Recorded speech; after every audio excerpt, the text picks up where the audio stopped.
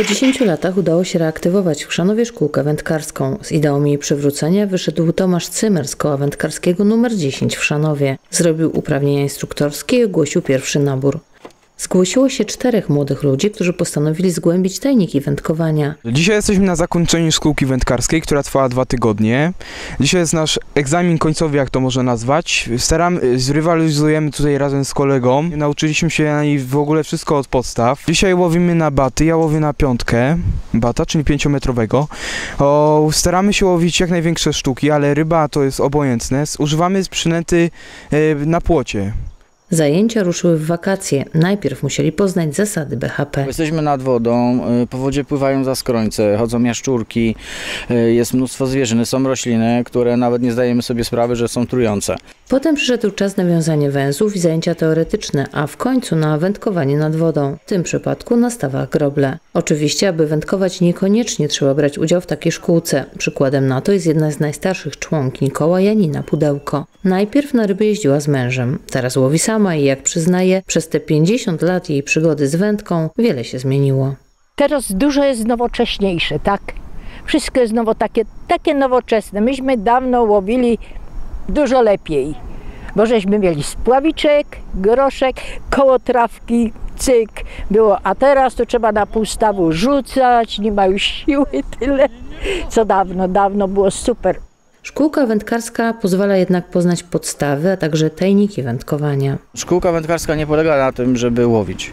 E, To jest y, ekologia, e, to jest ichtiologia, e, żeby zachowywali się nad wodą jak prawdziwi obywatele, a nie jak ludzie, którzy przyjeżdżają, przywożą ze sobą, zostawiają fury śmieci.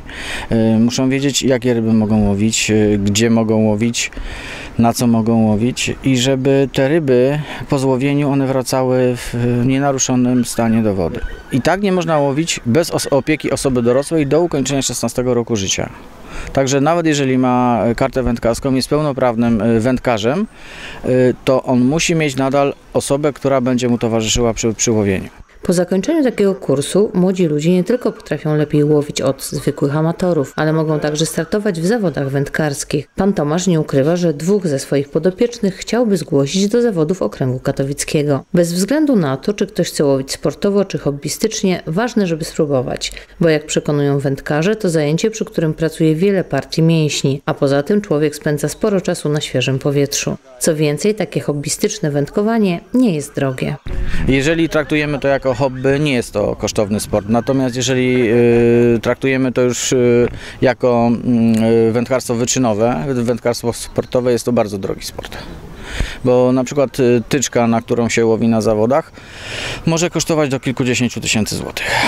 Uczestnicy wakacyjnej szkółki wędkarskiej przy kole numer 10 już zakończyli zajęcia i zdali końcowy egzamin. Informacji o kolejnych naborach na kursy można szukać w sklepach wędkarskich. Planowane są zajęcia także zimowe, głównie tzw. nauka na sucho na terenie hali sportowej. Tam jest mnóstwo dyscyplin, e, dyscyplina rzutowa, e, które będziemy chcieli przeprowadzić na sucho, żeby oni zanim pójdą nad wodę, oni już byli wyedukowani i przygotowani do tego, jak mają łowić, jak się zachować nad wodą, będą mieli porobione zestawy.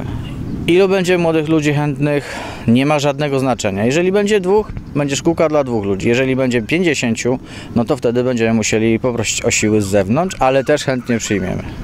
Nabór na kolejną szkółkę wakacyjną ruszy wiosną.